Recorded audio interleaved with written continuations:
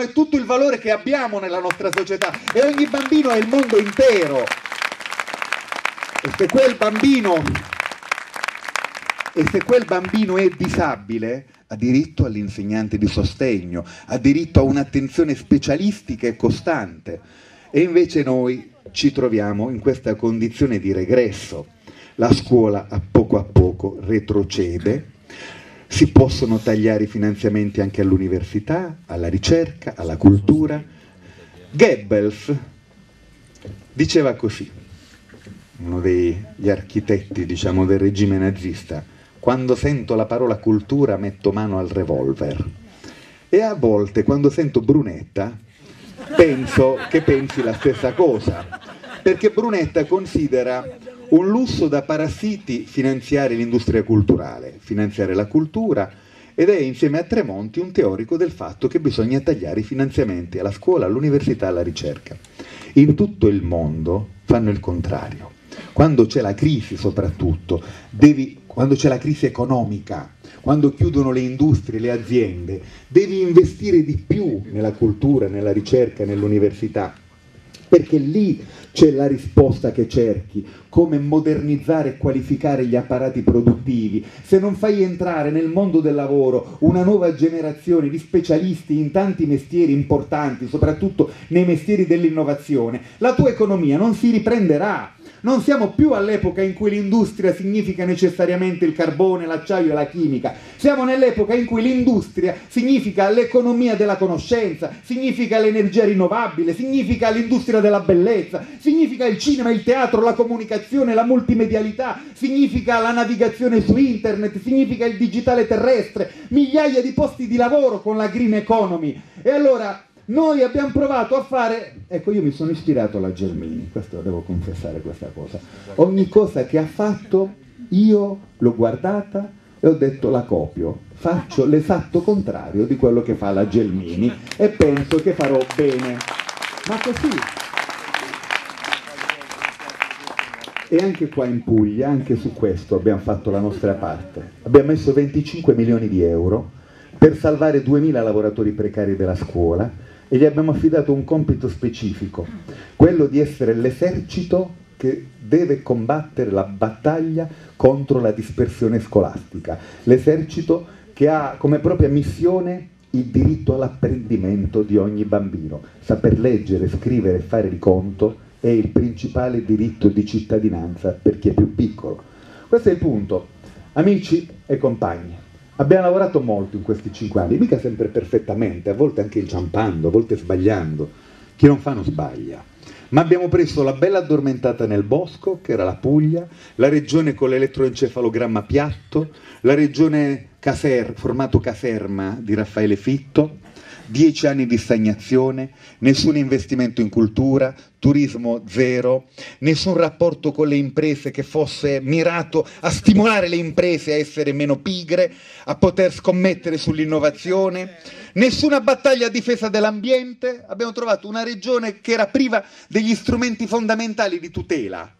Noi nel 2005 avevamo una Puglia senza piano di assetto idrogeologico, che è un fatto, è un, è un crimine un delitto non avere il piano di assetto idrogeologico. Se a Gallipoli sprofonda un palazzo, se a Gravina sprofonda un quartiere, è perché si è potuto in Puglia costruire ovunque. Si può cementificare anche sulla falda, anche sulla lama, anche sulla gravina, anche sul vuoto e invece il piano di assetto idrogeologico è lo strumento fondamentale per tutelare il territorio e per tutelare i cittadini. Abbiamo fatto il piano di assetto idrogeologico, abbiamo fatto il piano di tutela delle acque, abbiamo fatto il piano di tutela del paesaggio, abbiamo istituito 15 parchi, abbiamo fatto la legge contro le diossine, che per me è l'orgoglio diciamo, di questi 5 anni di governo, abbiamo sfidato il potere, abbiamo sfidato il potere e quindi, vedete, la lotta contro la precarietà è stata una lotta globale, non solo la precarietà nel mercato del lavoro, la precarietà dell'ambiente, la precarietà delle persone fragili,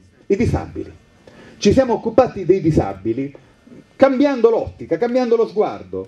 Che si fa nei confronti di un disabile? Normalmente poco di concreto e molto pietismo. No? Le parole dell'imbarazzo solidaristico o della solidarietà imbarazzata. Noi abbiamo detto basta, è finita l'epoca della pubblica pietà. La pubblica pietà è un colpo allo stomaco delle persone, è una violazione del diritto delle persone, nessuno vuole la pietà degli altri, tutti hanno diritto a far vivere la propria dignità, innanzitutto le persone diversamente abili. Loro, loro hanno diritto hanno diritto non a una stampella, quello è normale, per chi ha diritto a ausili e presidi di ogni genere, ma hanno diritto ad avere una chiave che gli consenta di aprire la porta della loro autonomia, della propria autosufficienza. Che cos'è l'handicap? L'handicap è nel corpo di una persona disabile? O molto di più l'handicap è fuori, è nelle barriere architettoniche, è nelle barriere culturali, è nelle barriere sociali? Oggi i disabili sono le prime vittime dei bulli, di un fenomeno del bullismo che è particolarmente grave non so se ricordate, l'anno scorso abbiamo visto delle immagini su internet che io non potrò dimenticare mai. In una scuola di Torino, in una prima liceo, c'era un ragazzo affetto dalla sindrome di Down, quello che è diventato normale chiamare mongoloide, magari anche con un sorriso malvagio sulle proprie labbra. È accaduto la seguente cosa, che quattro compagni di scuola di questo ragazzino affetto dalla sindrome di Down lo hanno cominciato a spintonare, a martirizzare, a spogliare, una violenza inaccettabile, disgustosa, non si poteva vedere quella scena. Un altro compagno di scuola faceva così, col telefonino, video riprendeva il martirio di quel ragazzino perché poi doveva far vedere questo filmino su internet come un cult, come un prodotto cinematografico e poi c'era il più bravo della classe che stava sul suo banco a fare i compiti facendo finta di niente. Ecco una rappresentazione sacra del mondo profano in cui viviamo. Il gruppo, il branco di violenti, il regista e il primo della classe, che io naturalmente collocherei come ultimo della classe, perché tu puoi saper parlare latino e greco, ma se non sai sentire il sentimento di appartenenza al genere umano, quando violano le regole fondamentali dell'umanità, tu non vali niente, sei un asino patentato. Noi, noi abbiamo fatto così, abbiamo portato a casa di 10.000 disabili 10.000 computer. Ogni computer specifico per ogni tipo di disabilità. Il computer per quella persona che muove soltanto le palpebre, ma muovendo le palpebre sa entrare nel computer, apre un programma, naviga, costruisce rapporti, relazioni, guadagna un sistema comunicativo, esce fuori dalla propria solitudine. Dico a Vito Bonasora che in questi anni queste cose che sto dicendo le ha condivise con me, devo dire, con la semplicità e la passione che tutti voi conoscete meglio di me in lui, che qualche giorno fa ho vissuto questa esperienza. Sono venuti, è venuta una famiglia che voleva incontrarmi, ma non aveva appuntamento. È venuta una famiglia giù alla presidenza della regione, ma non aveva appuntamento. Però era una famiglia che si è un po' agitata, ha chiesto ma possiamo incontrare il presidente della regione? Allora la guardia ha chiamato la mia segretaria la mia segretaria mi ha detto ma c'è una famiglia, ma tu hai preso appuntamenti con qualcuno? Dico io no, avevo, avevo 20-30 appuntamenti, vertenze. Allora ha detto, detto la mia segretaria, ma non è possibile. Eh, la guardia ha ritelefonato di nuovo e ha detto guardi, sono un po', ci tengono molto e hanno tra di loro cioè madre e padre e un figlio disabile. Allora ho detto vuoi vedere che c'è qualche emergenza, qualche problema? No?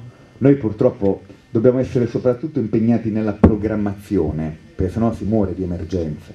Però qualche volta una persona se aspetta che tu programmi i servizi per lei rischia di morire nel frattempo, allora qualche volta devi fermarti, devi correre ad ascoltare, a vedere.